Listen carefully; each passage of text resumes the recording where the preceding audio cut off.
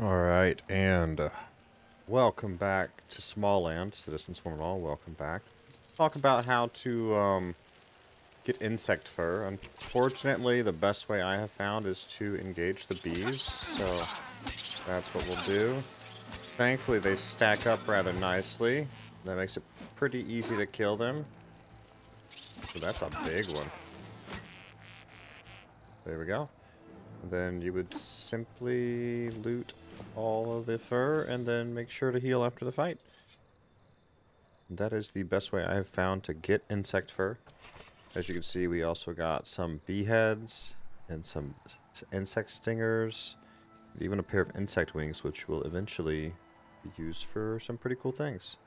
So on that note, ladies and gentlemen, that is the best way to get insect fur, fight the bees. There are other insects that drop fur, but bees are the quickest.